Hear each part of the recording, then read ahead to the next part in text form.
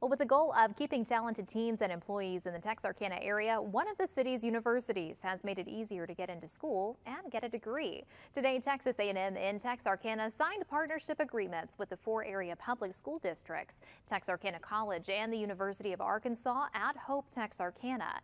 The partnership will offer new scholarships to graduating students within 100 miles of the campus, regardless of the state they're in. There are also benefits to employees of the partner schools to provide a 33% scholarship to full-time employees of all four ISDs as well as the community colleges.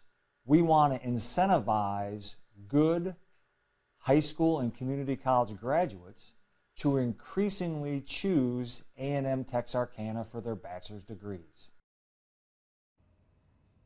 The scholarships will also include the first class for free, and funding for the scholarships will come from Texas A&M Texarkana.